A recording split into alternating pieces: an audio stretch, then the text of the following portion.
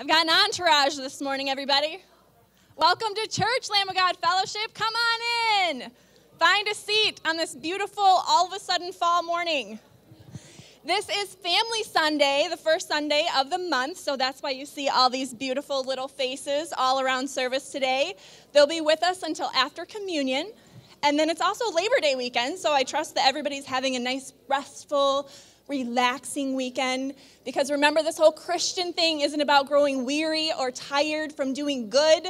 But to use a phrase that Pastor Tim coined this week, it's not about what we do, it's about what God is doing in us and through us when we submit to him. So stand with me this morning and let's welcome him in this er, welcome his presence in here today. Submit our hearts to him. Heavenly Father, thank you for these little ones that are joining us today. I just pray a blessing upon them. Pour your anointing upon them. Let them grow to know who you are and what your truth means, Lord. We welcome you in here today. Have your way with us, Lord, as we submit ourselves to you. Just fill us up with your will and just give us this deep hunger and this desire to serve you in all we do in every aspect of our lives, Lord. In Jesus' name I pray. Amen.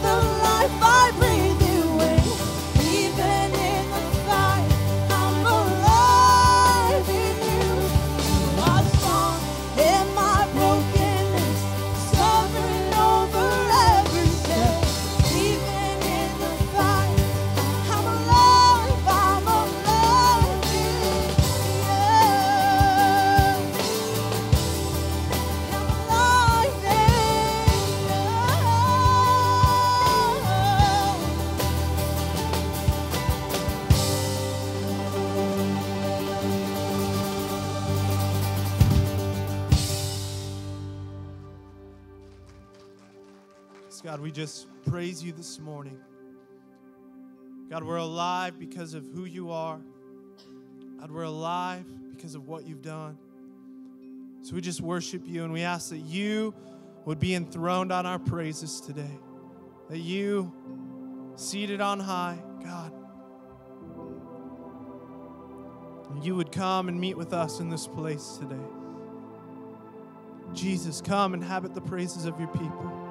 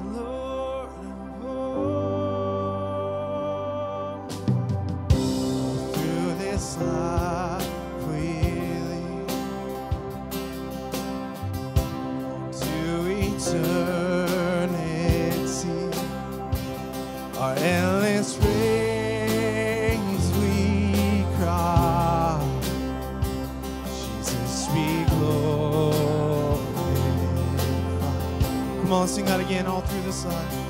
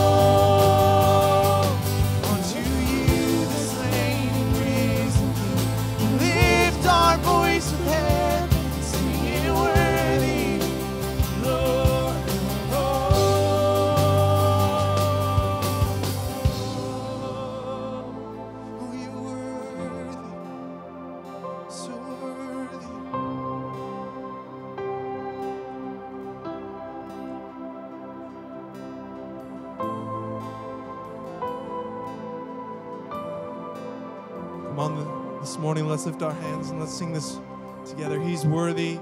Give him all the highest praise.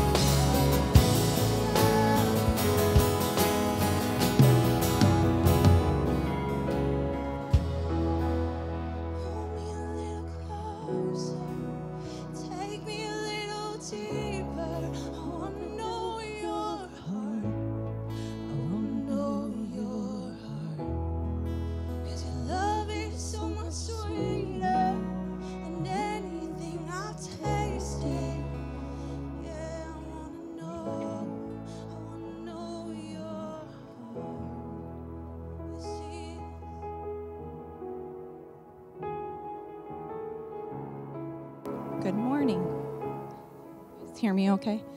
Um, I'm Heidi Root. This is my husband, Troy, and we're going to talk a little bit before communion. Um, ironically, one of the things that God talked to me about was us talking about our heart attitude as we were just um, talking about how we want to know God's heart. Um, I remember about 10 years ago or so um, reading a book by Joel Osteen called Your Best Life Now. And it really was all about being filled with God's hope. And um, and that's I, I, turned around and I've been reading this book um, by Andrew Wommack called A Better Way to Pray, and also just went to a Joyce Myers conference. So I'm just flooded, you know, with all kinds of things. And um, and so you know, this morning and all day yesterday, I'm praying, God, what do you want me to talk about? And this morning, I sat down and and I just put a whole bunch of things together from these different things that have been coming at me. So, um, 1 Corinthians 13, 1 through 3. In the kingdom, the heart attitude makes all the difference. The heart attitude behind your prayer interests God much more than the actual words that you say. The gospel is good news, what he's done, not prophecy, what he's going to do. Colossians 2 6. As ye have therefore received Christ, Jesus the Lord, so walk ye in him. In the same way that you appropriate and walk in forgiveness of sin, you receive healing, deliverance, prosperity, and everything else. Matthew 6 8. For your Father knoweth what things ye have need of before you ask him. Prayer is not to inform God how bad your situation is. He already knows what you need even before you ask. Praying God's solution from the word releases life, but praying negatively and focusing on your problems only energizes and strengthens them. It gives leverage to the enemy. Proverbs 18:21. Death and life are in the power of the tongue. Even in prayer, your words produce either death or life. Many people who think they're praying are really just griping, murmuring, and complaining.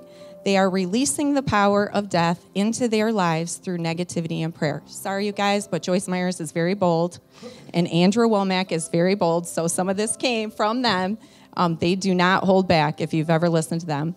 Um, Psalm 104 Enter into his gates with thanksgiving and into his courts with praise. Be thankful unto him and bless his name. Come into his presence praising and worshiping him. He is your loving heavenly Father. Instead of focusing on your unworthiness, thank him for his goodness. Pray with thanksgiving to God in all circumstances. Whatever you focus on will magnify in your eyes. If you focus on the problem, it will grow. If you focus on God, who is your solution, and your vision of him will increase. Focus more on falling in love with Jesus by thinking about what he has done for you. We need to be hopeful, not hopeless. Fill your conversation with God is changing things. I, I'm telling you, the miracles God has done in my life in the last year are because of these things changing how we think and what we say. Um, all things are possible with God The positive expectation that something good is going to happen. Your circumstances aren't going to change if you keep playing the same negative tape. Romans 12, 2, which I think this has become my favorite verse in the last year do not be conformed to this world, but be transformed by the renewing of your mind, that by testing you may discern what is the will of God, what is good and acceptable and perfect. Each of us has a choice. We can feel sorry for ourselves um, and say that nothing ever changes, nothing ever gets better. Um, we have a choice, and this was Joyce Myers. You can be pitiful or powerful, but you can't do both. I pray that as you take communion today, that you will be thankful for all that God has done, is doing, and will do in your life. I pray that you will be filled with love and hope and peace that only God can give. Let's choose to be hopeful and filled with expectation as we are filled with the Holy Spirit and His power. Nice job. The ushers are going to come forward and collect our tithes and offerings from the back forward, um, and then they'll come back again and release us for the elements to come forward. Um, as long as you're a believer in Jesus Christ, uh, we're all welcome to the table.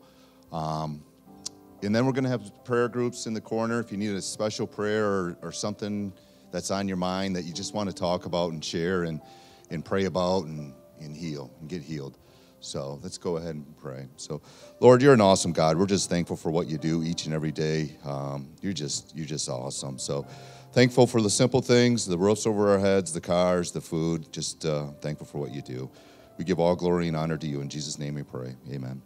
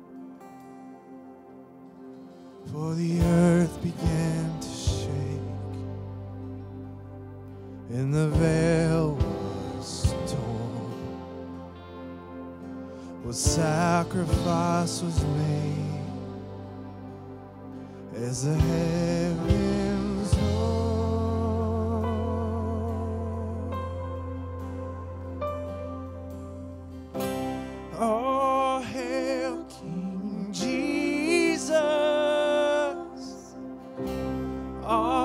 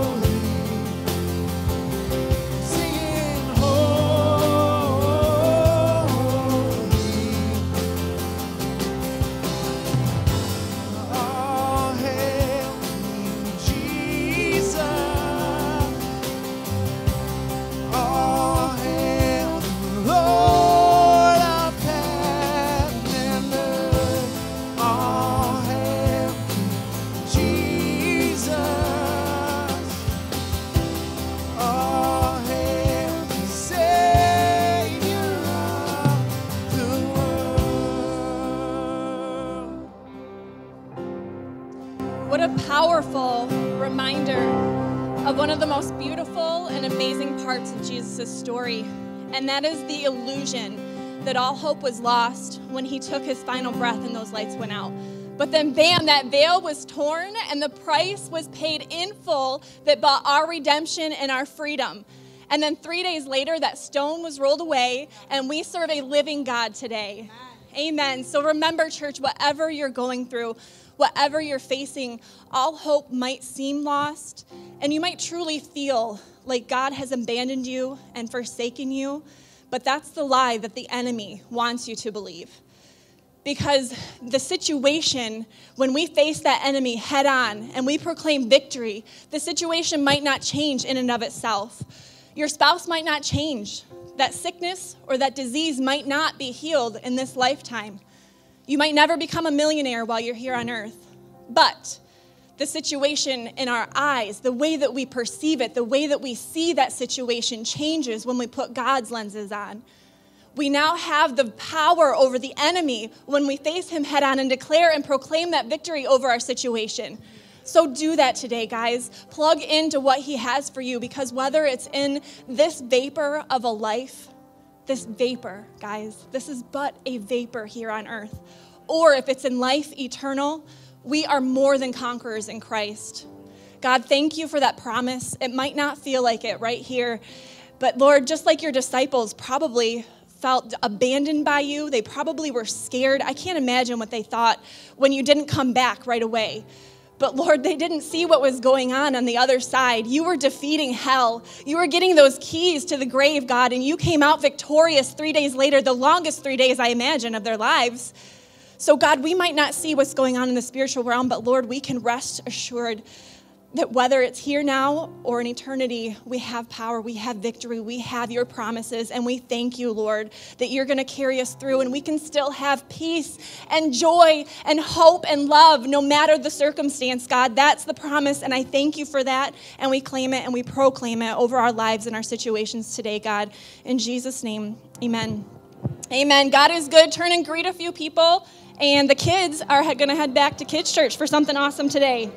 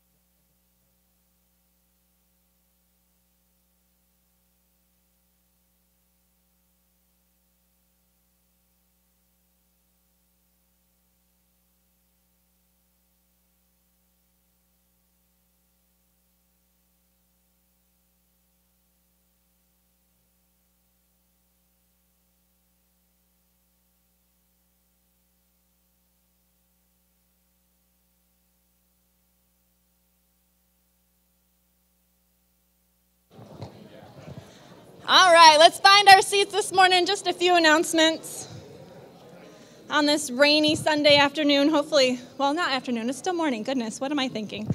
All right, so if you are new with us, we just want to give you an extra special welcome. My name is Megan Fondren, for those of you who don't know me. And if this is your first time, we ask that you take just a second and fill out this guest card. It looks like this, and you can find it in your bulletin. And if you take it to the welcome desk, which is in the far right corner as you leave the sanctuary out there in the lobby, we can ex- or you can exchange it for a little gift to show our appreciation of you joining us today. And then also, this is our prayer request card. So if anybody has anything going on that you need a little prayer support, fill it out, take it to the welcome desk, and we'll be praying with you for it. All right, next Saturday, ooh, sorry, next Saturday, September 7th at 6 p.m. here at the church, there's going to be a mission celebration night, and there's a little card in your bulletin about that. For those of you who wonder how the missions trips went, what went on, what praise reports do we have to celebrate, this is when it's going to happen corporately so that you guys can all come out and ask questions and just be involved in the celebration of what God has done around the world this year. And then there's a community blessing is next Sunday, September 8th 5 p.m. to 5:30 p.m. at the Montrose High School auditorium, a time for us to get together as believers and just pray peace and joy and prosperity and protection and power over Montrose as a community. Come on out for that. It'll be at the Montrose High School auditorium. It is in your bulletin. And then, last but not least, life group sign up is starting next week. Life groups should be something that you take serious here.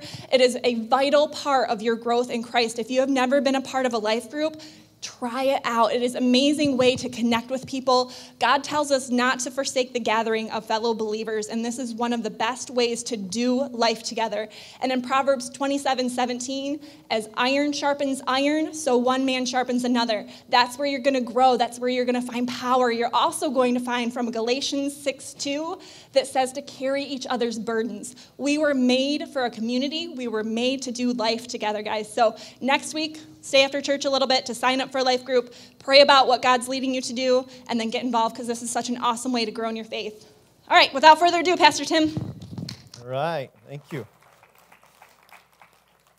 Um, one thing I want to say about the missions uh, missions night is this last year we really felt like it was God calling us to kind of like get get into missions, and so we we were pretty aggressive and pretty ambitious. Uh, we had a group that went to Peru, a group that went to Africa, a group that went to Mackinac Island. Uh, and my, my wife went one direction, my daughter, I went another direction. When our trips overlapped, we didn't see each other for three weeks.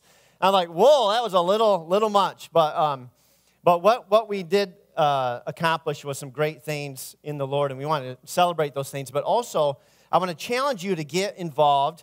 And it's my desire and my, my belief that everybody should go on a missions trip at least once in their life. And so, also at this meeting, we're going to roll out and announce the missions trips that we believe that God has put on our heart for the coming year. So you can get excited about that. And uh, we're going to, we've got three different opportunities um, for, for us to, to move into, and we'll, we'll be announcing that at that missions meeting, okay? So I hope that you someday will go out of this country, go on a trip, and, and get involved in a missions trip so, so you can experience something I believe will be life changing that God will do something through you, but God will do something in you in a powerful way. And if, if you even have a little bit of a witness in your spirit right now as I'm talking about that, like, oh, I'd like to do that someday, just, just start saving some money, start putting money aside a little bit at a time. And one day, God is going to tell you where to go and when to go, and it's going to be an awesome experience for you. So, this morning, I'm excited to talk to you about beholding God. And it's kind of interesting. Um, Heidi was sharing and one of the things that she mentioned was magnify. And whatever you look at or magnify, whether it's a problem or whether it's God, is be, begins to, whatever you're focusing on, begins to get bigger and larger. And it kind of like almost, you know, captures your attention, doesn't it? So this morning, that's actually a magnifying glass on your folder when you came in. And what are we focusing on? We are focusing on not a cross, but we're focusing on the one who was on that cross, Jesus. And our goal is to behold him. And when we behold him, when we look to him, when we are in his presence, there's this idea that we become like him. Whatever you behold, you become. Whatever you're focusing on, that's who you be. Have you ever seen somebody like like a certain like rock band or something, and all of a sudden they start to look like the rock band, you know, start wearing whatever they, looking like them, talking like them. I, every time I, I, go to Florida, if I'm there for 10 days, I start talking differently. You know what I'm saying? It's like starting y'all, and I'm like changing my whole vocabulary. But whatever you're around, whatever you're focused on, uh, whatever you look at, and let me put it this way: we don't we don't usually assign this word to this, but whatever we worship, we become, and we can worship things. We can worship stuff. We can worship other people. And the Bible says, look to Jesus. Okay? Look to Jesus. It's okay to say Jesus in here. Look to Jesus, the one who started your faith, who made it possible, and the one who's going to finish your faith. The author and the perfecter of your faith. So I want to talk about Jesus today. Is that all right? And I'm reminded of uh, this morning, I'm reminded of what Jesus said to his disciples towards the end of his time on the earth, right before the, um, he, he was, you know, betrayed and crucified and rose again. Right before that, he said to them, the Father is going to send you the Holy Spirit. And he, he referred to him as the counselor or the Spirit of truth. And he says, and the counselor or the Holy Spirit will teach you all things. Everybody say, teach you all things. So the Holy Spirit will come and he will teach you all things. And he will remind us of everything that Jesus taught us or his disciples. And so the Holy Spirit's, one of the Holy Spirit's jobs is to teach us, to actually speak to us. Right now, in this time, I'm praying the Holy Spirit will speak to you. And you know how that works. It's just kind of this inner, inner revelation or inner awareness, or like, oh, ah. And that's the Holy Spirit speaking to us, and He's teaching us to become like Jesus. Okay, so Lord, we just welcome you this morning. Holy Spirit, we welcome your presence here to teach us, to teach us, to change us, to inspire us, to give us uh, understanding, help us to come out of any kind of thinking that's been holding us back. We want you. We want truth because we know that the truth sets us free. So, Lord, speak to us. Would you say that? Lord, speak to me. Thank you, Lord. And, and by Lord, I'm, I'm also talking Holy Spirit, right? All right. So, the other thing that I love about um, the Bible is Paul said, I'm not ashamed of the gospel uh, because it has the power to save everyone who believes it. And we often think of that scripture as the idea of a person who doesn't know Christ as Lord, hears about Jesus uh, dying for their sins, and accepts Jesus, and then they're saved. That's how we usually think about that verse. But I want to challenge you to think about that verse in a much broader sense that the gospel means good news. And this book is filled with good news, right? And I got some good news to share with you today. And here's the truth of that verse. When you hear the good news, the gospel, when you hear a promise of God, don't matter if it's that your sins can be forgiven or you can be healed or that the Holy Spirit will teach you or that you're a conqueror or you can, whatever. When you hear good news in this book right here, this is Jesus himself right here. The Word is Jesus, it's God, it's perfect, it's eternal, and He's faithful to accomplish His Word. When you hear it, the Bible says it has the power to save those who believe it. If you hear a promise today, if you read a promise today in your log notes or up here on the screen, or I say something that's, that's out of the word and it's a promise of God and you believe it, it has the power to save you.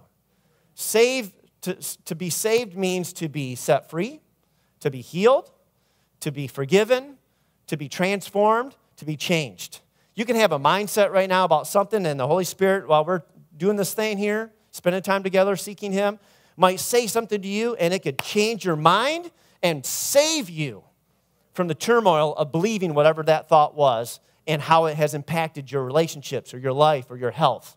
Can save you. How many of you are ready to, to believe in God today?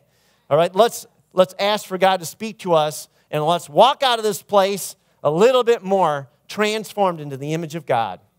The other thing that someone said, I don't know if it was Heidi or not, but um, somebody said something, maybe it was, about conformed. Yeah, it was her. Romans 12, right? We are not to be conformed to this world, but transformed. But we are to be conformed into the image of God's Son. And that's what I want to talk to you about today. So, in the beginning, I want to read a couple verses for you. Genesis 1 26 and 27 says, God said, Let us make man in our image, in our likeness and let them rule over the fish of the sea and the birds of the air, over the livestock, over all the earth, and over all the creatures that move along the ground. How many of you are thankful that God put you in charge of the birds? All right. So you, you're, we are made to rule. In God's image, we are made to rule on the earth. Not rule over people. You don't see people on there, on that list. Only the animals and creation.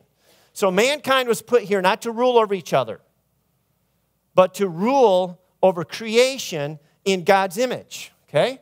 Uh, verse 27 says, So God did what he thought. He said, Okay, so God created man in his own image. Everybody say, his own image.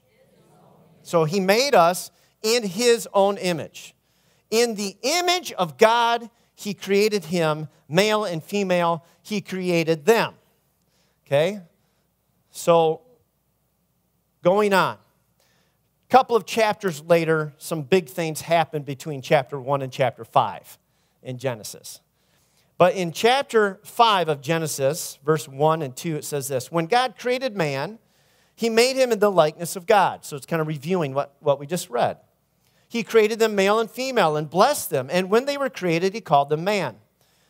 When Adam had lived 130 years, he had a son, uh oh, in his own image. Okay, so now something happened here.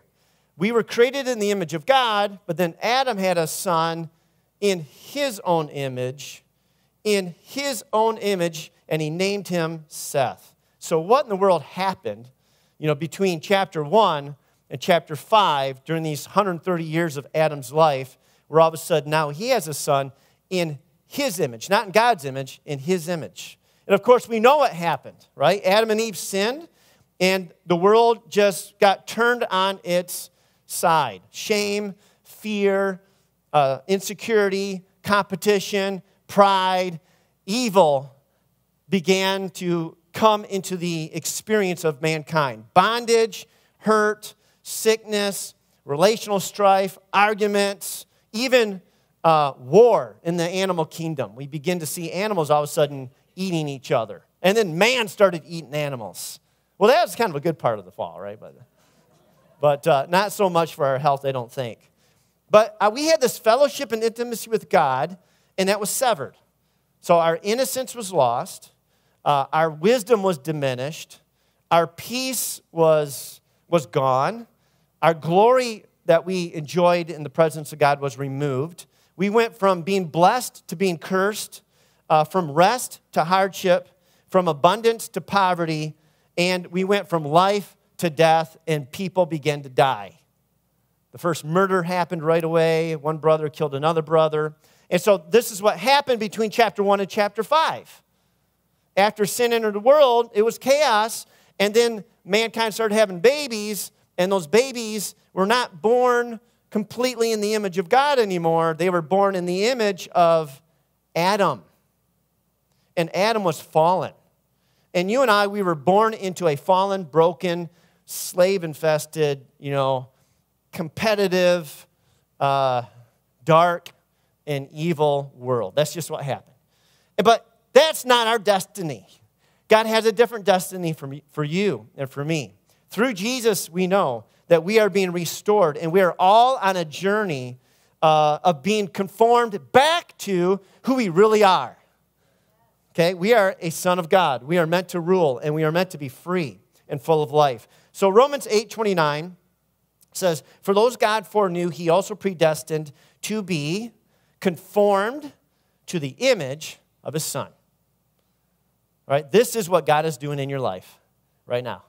He is conforming you, He's molding you into the image of His Son.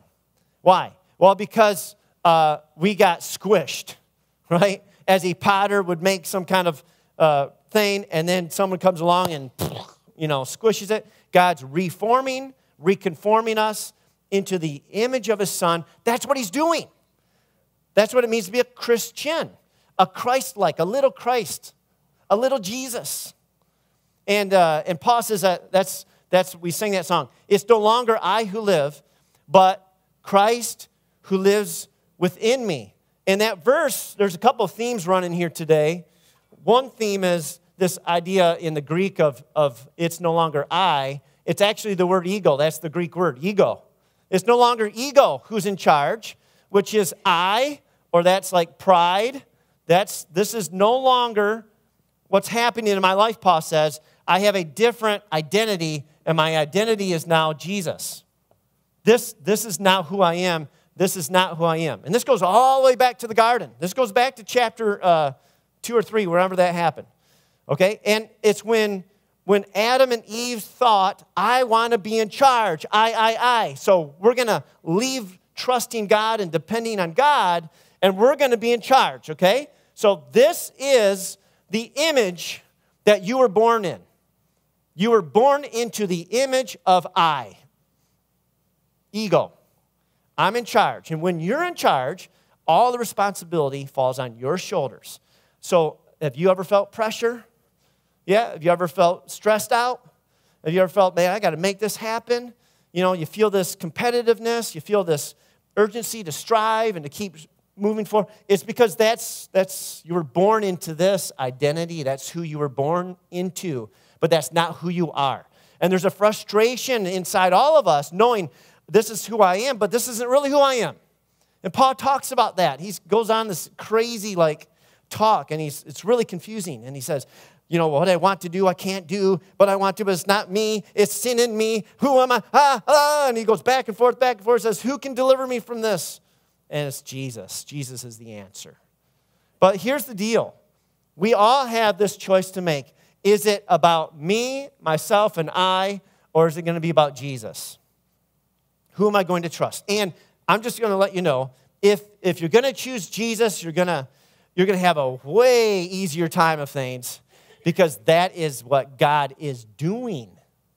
If you don't choose Jesus, then you're working against God because God's determined purpose is to conform you into his son's image, where you are fully alive, fully free, and you're free from all that other junk like insecurity and pride and, and stress and hardship and striving and, and uh, all that other stuff. Uh, and we can have it all and be it all in Christ. And so that's our journey. Uh, 1 Corinthians 15 49 says, uh, as, And just as we have borne the image of the earthly man, Adam, which we've borne that image pretty well, haven't we? The, the image of sin. Yeah, so just as we have borne that image of the earthly man, here's the good news so shall we bear the image of the heavenly one, Jesus. You are going to make it. You are going to make it. And God's on your side. And He's setting you free from all the crud on this side of your family line. And He's signing you up for a whole new family, a whole new gene- genealogy, a whole new bloodline. You may say, in this family over here, you know, we got a bunch of liars, bunch of cheaters, you know, a bunch of drunks. But I got, I got good news for you. You got a whole different lifeline and family line coming over here where you got freedom and you got joy and confidence and purpose. There's another theme that I heard the Holy Spirit speaking to me here this, uh, this morning during worship. And this theme was about joy. And, and uh, just want to say something. You say, what you, where'd you get that? We didn't even have a song with joy in it. Uh, but the Holy Spirit was showing me something through a couple things. Most of us, we, are, we, we find or we're searching for joy in the area of circumstances. And we're looking for things to be right for us to be happy. And if it's sunny out, we're happy. If it's a weekend, we're happy. If I get a bonus, we're happy. If I get to go on vacation, I'm happy. If I'm feeling good, I'm happy. If I'm going to my favorite restaurant, I'm happy. If it's my birthday, I'm happy. Happy birthday, you know. Happy birthday to anybody who has a birthday. Anybody got a birthday today? No? Okay. Okay, and when I'm when it's raining, maybe I'm not happy. When I have uh, you know uh, work to do, maybe I'm not happy. When I'm not feeling good, maybe I'm not happy, or maybe I don't have joy. And so we just tend to we tend to associate these things together. But what if there is a way for you to have joy regardless of circumstances? When you're when the circumstances are good, you have joy. When the circumstances aren't good, you can still have joy. What about something like that? Wouldn't that be awesome? And the Bible talks about something called the joy of the Lord. This is where joy comes from. It comes from Jesus. It really does. It comes from being in the presence of the Lord, being in the presence of God. Somehow coming to this realization that God is with you all the time. And when you begin to take that magnifying glass and you begin to look at God and you look at Jesus and you begin to reflect on who He is and what He's done for you, and you begin to magnify the truths that you have everything you need in Christ, that your destiny is already secure in Him, that that he's conforming you, he's with you, he's working all things to your good, and you begin to repeat promises of the word of God to yourself, all of a sudden you have something called the joy of the Lord. Doesn't matter what the circumstances are, you can actually have joy. This is amazing. And this is who we are. This is who we are. But it's all found in Jesus, it's found in Him. It's not found in our accomplishments, you know, in, in us getting what we want all the time. So we're, we're getting conformed to Jesus, and it's a good thing. You want to be conformed to Jesus, okay? Um, so 1 Corinthians 15 22 says simply this For as in Adam all die, so in Christ all will be made alive. We're really talking about life and death here in Christ, in Him, even, even uh, throughout your day, when you're mentally focused on Christ, you're alive. There's, there's life giving things happening in your soul. And, and if you're focused on I and pressure and striving and trying to make things happen, that's death, it's stress, and, and it's, it's not healthy for us. Uh, Romans 15, uh, Romans chapter 5, rather, Paul's talking about this. And I just want to summarize this for you maybe I should even say it this way uh, tell you a short little testimony. And I've shared this before, but for many years when I was younger, I grew up, I, I think I got saved around the age of six. And then we started going to church, and then we watched a scary movie. It was called uh, Left Behind. When was that movie out? Like 1970 something, 80 something? And I was, I was young, but I must have been just old enough for my mom and dad to think I could watch this thing. And we came to this church. Church was packed out. We all watched this movie, and everybody repented and got right with God because we were freaking out. I don't know if it was from that or I don't know what happened, but somewhere along the line, I remember growing up, and I used to uh, have this loft in my, uh, in my bedroom um, that my Uncle Mike built for me. Remember that? And so I'm up closer to heaven, you know. So he's second story, all the way to the top. I was closer to God up there. But you guys don't think that's funny. So I remember laying in bed and every night making sure that I asked for forgiveness for everything I could think I did wrong that day. And I just had this sense that, man, if I don't, if I forget something, or if I don't get forgiven for everything I did wrong, then I'm in trouble. I mean, God, Jesus could come back and I might not go.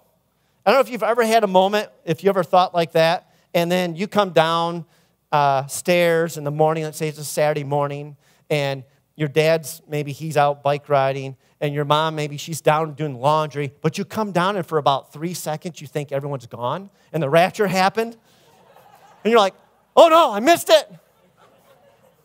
I've had, I've had moments like that in my life. Like, did I miss it? Oh man. So this is like, this is how I was thinking. And I was thinking that I need to make sure that I'm good with God. And honestly, uh, now that I look at it as an adult, my faith, if, it, if you can call it that, my faith was in my obedience. Or maybe I should just say my effort. I didn't know this. I mean, come on. I'm just a kid. I'm like 6, 7, 8, 9, 10, 11, 12, 13, 14, 29, 30, 30 33 years old. Okay? I lived this way till I was about 33 years old, thinking this. And so, and, but now I understand my faith was in my effort. That if I didn't do good, then I had this unhealthy shame. And if I did good, I had this unhealthy pride because it was about me. And this in the scriptures is nothing to do with you anymore, it's all to do with Jesus. So, faith really, you can't have faith in yourself. Um, you can only have faith in Jesus, that you trust in Him instead of trusting in yourself because what he did was he literally paid for your sin on the cross. And now I am forgiven. I didn't say I'm perfect, I'm forgiven of all my sins. And, uh, and there's nothing else that I over there can do to make myself any better in the eyes of God or any more forgiven or any more worthy or any of that stuff. Okay, over there in the back of the day, if I if I do good, then God probably will listen to my prayers. And maybe he'll answer some of them, right? And I deserve some of God's love and I deserve God's attention. But if I'm doing bad, just the opposite, right? Well, God God can't use me. God's not going to answer my prayers because I didn't earn the right to, you know, to be heard. And you see how messed up that is? Please say yes. Because the truth is, you are fully forgiven. And you look in the mirror and you still see some flaws, but you're fully forgiven. And you can be thankful to God that you're fully forgiven. And here's what Paul had to say about that in Romans 5. He said, Just as sin entered the world through one man named Adam, and death came as a result of that sin. And in this way, death came to all people because all sinned. Verse 13, to be sure, or I'm sorry, I'm going to skip to verse 15. But the gift of Jesus is not like that sin or that trespass. For if the many died over here by the trespass of Adam, how much more did God's grace and the gift that came by the grace of one man, Jesus Christ, overflow to the many? Think about this. Nor can the gift of God be compared to the result of the man's sin. Judgment followed one sin and brought condemnation, but the gift followed many sins or trespasses and brought justification. Okay, here's the power power verse. For if by the trespass of this one man death reigned through that one man Adam, if that was the case, how much more? Everybody say that.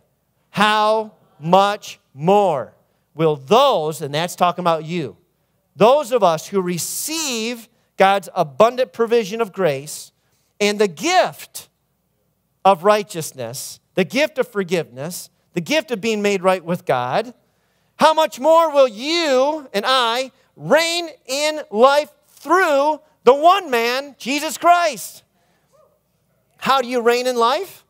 through Jesus, through what he has done, through who he is, and through the fact that you are now grafted into him and you have a new identity.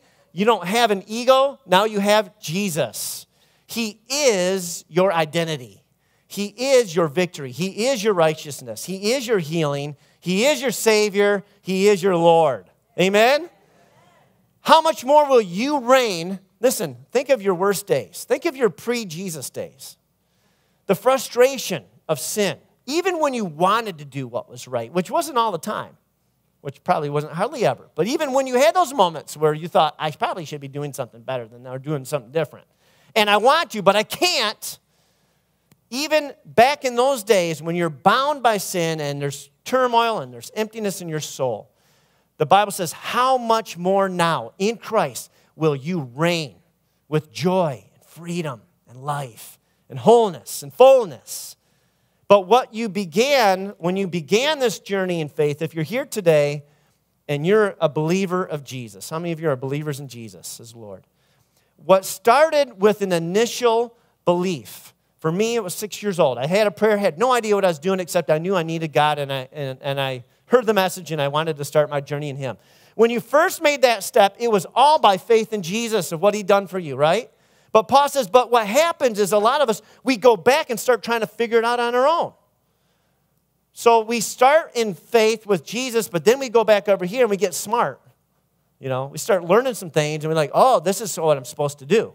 This is how I'm supposed to do it. I need to start doing all this. I need to stop doing all that. And then all of a sudden, what starts happening is we kind of move back towards this type of an idea where if I just start obeying better, if I start doing more, if I start giving more, if I start serving more, then I will be a good Christian. Then God will do these things in my life. And all of a sudden, we screwed it all up. Because now our faith is no longer in Jesus. Now our faith is what we need to do. And that's called striving. That's called dead works. That's called self righteousness. That's called religion. Okay? So, what, what the Bible teaches us is that what Jesus starts, he also finishes. So, when you start in faith, You need to remain in faith. You need to keep trusting in Him. Now, all of this is introduction, by the way, for what I'm trying to get to. Um, I'm just trying to make sure we're all on the same page, okay? So, so the, Jesus overpaid for your forgiveness. He overpaid for your forgiveness. If you if you had a, a debt to pay, and I, I have some debts I got to pay, and you owe some some money, right? And let's say you owe hundred dollars to somebody, and someone pays your debt, except they give that person ten grand. That's what the Bible says Jesus did. He overpaid the price for your debt and your sin. How much more? How much more will the gift of righteousness from the Son of God Himself, the one who created you, made you, He's got a destiny for you, determined to have you with Him forever. He shed His blood for you. Uh, he overpaid for you to be free. I'm trying to make sure we're on the same page here. You're forgiven. Trying to make sure you understand that. Um, and so it says here, consequently, verse 18, just as one trespass resulted in the condemnation for all people, so also one act of righteousness resulted in justification and life for all the people. For all the people. Isn't that awesome? 2 Corinthians 5:21, one of my favorite verses, for he God made him Jesus who knew no sin to become sin for us so that we might become the righteousness of God through Jesus. Wow. Listen to me. You are no longer this ego, sin infested, broken, bound person. You are now a child of God, fully forgiven and redeemed and Jesus has got you. He's got you. He's got you can you can relax a little bit. Okay? You can relax a little bit. Last week I talked about rest. And, and Jesus said, uh, someone said, Hey, what do I got to do, God? What do I got to do, Jesus? What's the, what's the works of God look like? I want to make sure I get to heaven. You ever wondered that? I have all the time. I want to make sure, I'm, I am going to make sure I make it. So, what do I need to do? And someone came to him, just was like real blunt with him. What do I got to do? And Jesus said, Here it is believe in the one whom God has sent. Trust. Trust in the one whom God has sent. Who, who is that? Jesus. What did Jesus say is the work of God? To believe in Him, to trust in Him. You can't do anything more to pay for your sin. When Jesus was on the cross, um, the Gospels, we have four Gospels. They're all telling the same story, but they all kind of give different parts of it. And one of the Gospels says that Jesus was on the cross and he let out a cry and then he, then he, uh, he surrendered his spirit to God. Another Gospel tells us what he cried out. And in English, he cried out, if, he, if it was in English, which it wasn't, he cried out, It is finished! And then he committed his spirit into God's hands. Uh, in Greek, it was this word, and forgive me if I slaughter this, any Greek scholars out there, but it was something like this tetelestai. Tetelestai! But he didn't speak Greek. He would have spoken Hebrew. And I have no idea what the Hebrew word would be. I didn't even think about studying that. I didn't. But I did look up this, this, uh, this Greek word. He says, It is finished. That's what this word is. And it comes from this word it's kind of cool looking word. Teleo. And I don't think it has anything to do with television, but maybe it does. I don't. know. It means to finish, accomplish, or complete. It means to do the last thing necessary in a process, to finish something. And when he's on the cross, and it was mentioned this morning, eh, I think Megan mentioned something about this, that the world perhaps was viewing this event as it's finished. His life is over. Our hopes that he was the Messiah is crashed. He must not be the one. His disciples, except for John, were, were gone. They're all hiding in bushes or trees, or like they were scared out of their minds. They thought they were going to be the next one hoisted up on that cross. Uh, and so they were freaking out. They thought, it's over. He's not the one. He can't be the one. He's hanging on a cross. He just died. And so Jesus says, It's finished. But how many of you know he wasn't talking about, you know, his life or the hope of humanity? He was talking about the process of bringing freedom and forgiveness to all of humanity. The process has been finished. It is now accomplished. And then he like breathes his last breath, commits his spirit into God's hands, and his work of redemption was finished for you and for me. What that means is in the justification of God and in any justice system that is righteously, you know, uh, administered, you can never pay for the same sin twice. You can't pay for the same murder twice, the same, uh, you know, conviction twice. You can't do that. It's called double jeopardy, isn't it? It's illegal. You cannot try something a person twice for the same crime. And God's justice system is righteous. How many of you know He is the righteous judge of all the earth? Now, the scriptures tell us this. This is very important. And again, I'm asking the Holy Spirit to convince you of the truth of what I'm about to say, because some of you need to understand this that forgiveness is real and it has actually happened for you. And it's this that your sins, all of them, have been paid for by the blood of Jesus Christ on the cross and there is nothing you can do to make that any more forgiven. Your sins have been paid for. It is a lie for you to believe or to think that you still aren't good enough, that you still need forgiveness, that you need to do something different to, to earn God's forgiveness or love. I can't tell you any more strongly, you are forgiven. It's just a matter of whether or not you've accepted it. And as soon as you accept, let me put it this way I'm not ashamed of the gospel, for it has the power to save everyone who believes. So, this little truth here, which is not a little one to me, it's a big one for me, as soon as I chose to believe I really am forgiven, it changed my life. Changed my life. I was thir- I think I was 36 years old actually when this happened. 36 years old. And I was a pastor and I finally got it. That's why I'm saying this so many times because I know some of you are like I was and you've heard this before, but something's got to click the Holy Spirit's got to open our eyes and help us see wow, I really am forgiven. God actually loves me. He actually loves me. Okay, so you guys ready for the message?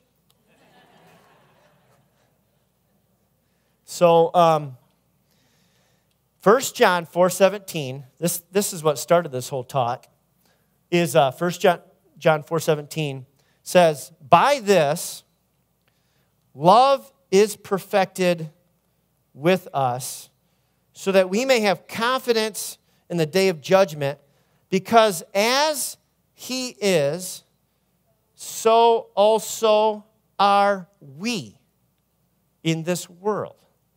This is unbelievable. This is unbelievable. As he is, who is he? Jesus. Okay. Uh, I've, you know, just keep saying Jesus. Okay. Because as Jesus is, so also are we in this world. Now I'm going to back all the way up to by this love is perfected. Love, God is love. You with me? God is love. That's another verse. God is love. This is really talking about who? Jesus. Just keep saying Jesus. Jesus. Okay.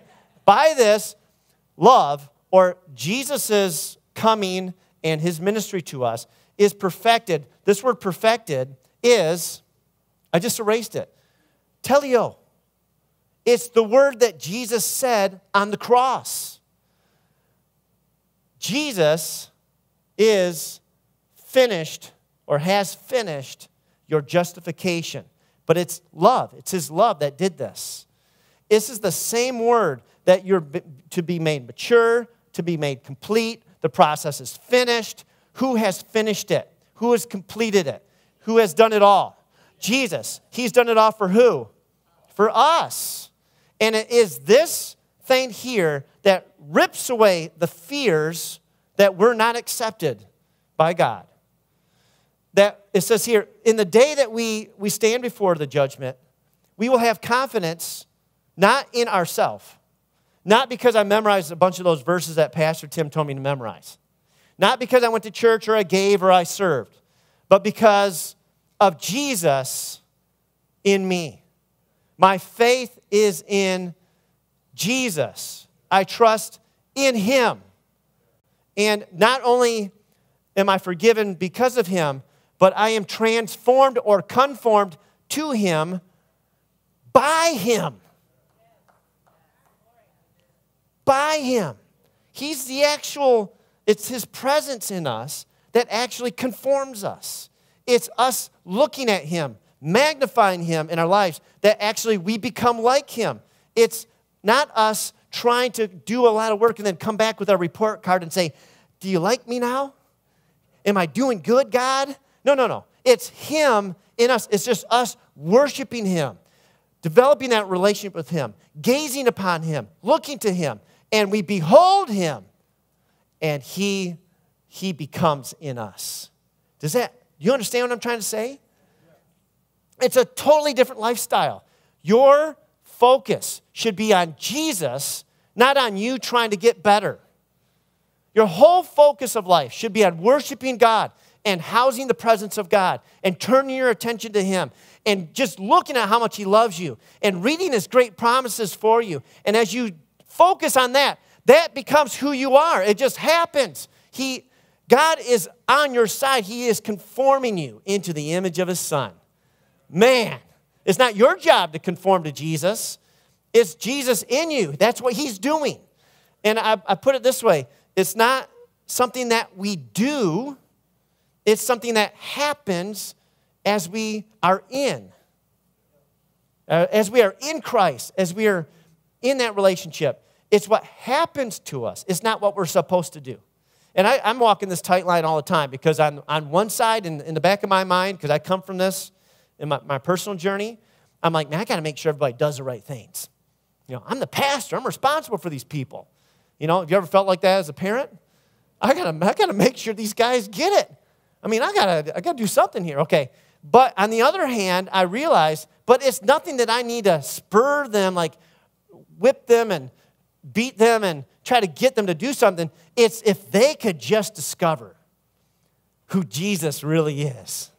If we could just put ourselves in his presence, if we could do that, if we could learn how to trust in him and read his word not out of obligation, but because we just we just love what God is doing in our lives, if we could come to church not because we're supposed to, but because we need the presence of God and we're drawn to his love and the freedom that we get from that, if we could have these life groups and relationships with each other, not because pastor said so or that's what the church wants me to do, but because it's life-giving, it helps form Christ in me, it allows me to be a blessing to others and it makes me feel really good. If we could do those things not because we have to, but because we're drawn into the presence of God, then we got it. God will do everything else in us. And it's hard to communicate that all the time, but that's what I see God wants to do. He is conforming us into his, the image of his son, and it's awesome. It's awesome. So Colossians says this Do not lie to each other. This is Colossians 3 9 to 11. Since you have taken off your old self, that Adam stuff, and its practices and have put on the new self, which is being renewed. Everybody say, is being renewed. So we're, we are taking things off. We're saying, I'm not that person anymore. So when fear comes to me, worry comes to me, when I start getting stressed out, I start doing these things, and I still do these things. So when, when these things happen, I have to go through a little check, you know, a little mental check and say, hold on a minute. I'm not that person. I don't have to solve this problem. I don't have to be freaking out. I don't have to be stressed out. I don't have to do that. I, God is with me. He's for me. Lord, take control of this problem. Lord, I just release it to you. I just refuse to be captivated by this stress, this fear, this worry anymore. I just refuse. I refuse it. I said, I don't have to have that anymore. I just just stop it. And I renew myself in the Lord. It's a that's what I do. And sometimes I do that 50 times a day, sometimes 50 times an hour. Sometimes you just have to train yourself to be, begin to know who you really are. And it changes everything. But it says here, this new self, we're putting it on, it's being renewed in knowledge in the image of its creator. Goes on to say, Christ is all and is in all. Paul says it this way Christ is the hope of glory. Christ is the hope of glory. So, all of that say, here is your memory verse for the week. Where's it at? 2 Corinthians 3.18. I love this. And here's the, here's the message. all right? It says, and we all, so that's all of us, right? All y'all, here we go, who with unveiled faces contemplate the Lord's glory are being transformed into his image with ever increasing glory, which comes from the Lord, who is the Spirit. This thing's loaded. I'm just going to say a couple things to you real quick before we close. First of all, unveiled faces. We have talked about this word, panim, last two, uh, well, last week and a couple weeks ago, Dr. Larry shared this word. Panim means presence, but it means face to face. It is in the presence of God that you are conformed to the image of His Son. When you take time out of your day and you just seek God, whether that's worship music, that's just silence, that's prayer, that's reading your, your Bible, that's reading another devotional book, and you're seeking God and you're getting into His presence and you're saying, God, I just want you. I need you in those moments when you're in the presence of God, you're face to face with God. You're face to you're in his presence, face to face, intimate. That's when God conforms you into his image. It's not when you're out there trying to impress God. It's not out when you're out there trying to do all the right things. It is when you're in the presence of God. And and that's where he conforms us. Now, here's the great news you can be in the presence of God anywhere, everywhere, anytime, all the time. And God can be conforming you all the time. Wherever you are, even when you're doing other things, you can be in the presence of God. Why?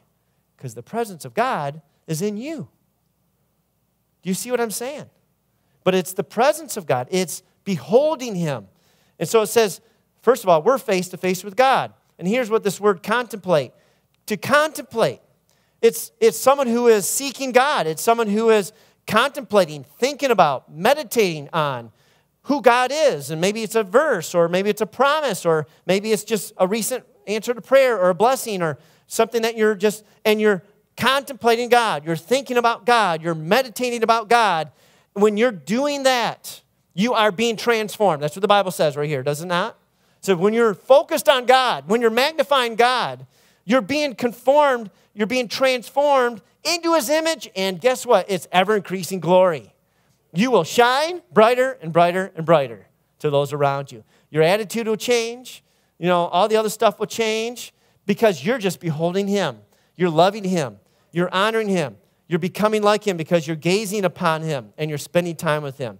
And it says, which comes from the Lord this transforming into the image process comes from God. Doesn't come from you working really hard. It comes from God. God transforms us from the inside out. So I want you to think about this verse this week and uh, meditate on it and let God speak to you. And I want to share with you Hebrews 12, 1 and 2. Since we are surrounded by a great cloud of witnesses, let us throw off everything that hinders, the sin that so easily entangles and let us run with perseverance the race marked out for us, fixing our eyes on Jesus, the pioneer and perfecter of our faith. Our eyes should not be on ourselves. How am I doing? Our eyes should be on Jesus. What has he done? What is he doing? Who is he? Who is he in me? Who, who am I now? And, and when our eyes are on Jesus, we are filled with all those wonderful things. When our eyes are on ourselves, it doesn't matter which, which cliff you jump off of, the cliff of pride or the cliff of shame, they both end in death, all right? It's not good. And so our eyes are on Jesus. He's the one who started it, He's the one who's going to finish it. Philippians 1 6, He who began a good work in you will carry it on to completion until the day of Jesus Christ. How many of you are glad that He's going to finish what He started? Right? We're always reminding ourselves of that. So He's working it in us. Hebrews has this great blessing at the end. Says something like this uh, May the God of peace, who through the blood of uh, the eternal covenant brought back from the dead our Lord Jesus, that great shepherd of the sheep, may He equip you, may He equip you with everything good for doing His will. So, who's doing the work? May He equip you with everything good for doing His will. And may He work, may He work in us. I love this. What is pleasing to Him. May He work in us what is pleasing to Him. Isn't that awesome? To whom, uh, through, and it goes on to say, through Jesus Christ, to whom be glory forever and ever. Amen.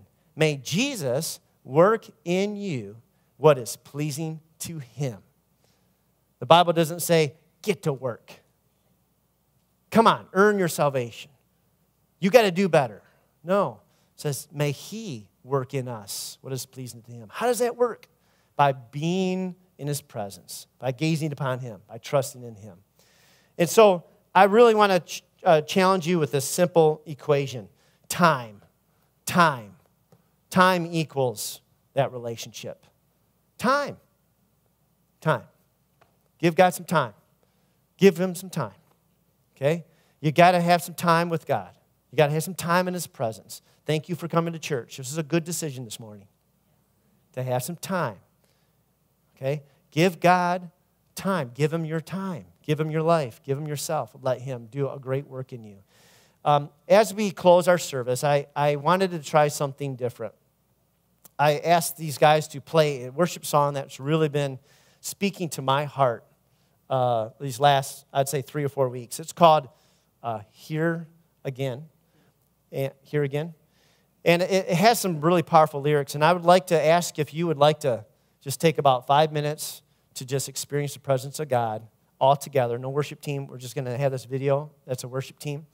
And we're just going to come into the presence of God for about five or six minutes, and then we're done. I'm going to come up and bless you. Does that sound good? As we do this, um, let God speak to you. If you're here this morning and maybe something I spoke to you about um, this, this forgiveness thing and you want some prayer, I'd, I'd love to pray for you um, this morning. You can come forward, and uh, me and a couple other people will be up here just to pray for you so that you can have a breakthrough in that in your life, that you will never, not, never be captive by shame anymore, that you will understand that you are fully forgiven. You're a child of God. You're a daughter, and you're a son of God. And, and He's with you, and He's going to make a way for you. Uh, but other than that, let's just worship Him in His presence. Would you stand with me? And uh, can you begin the song? And let's just worship Him. If you want to come forward and uh, kneel at the you know, altar or kneel at your chair, you can make an altar right where you are of just surrender to God and just seeking Him. And Lord, right now, as we just take these few minutes to worship you, just speak to our hearts. God, just show up in our lives this morning and just reassure us and encourage us that you're with us, and you who began this good work in us, you will finish it. Thank you, Jesus. Thank you, Lord. is a place where you promised to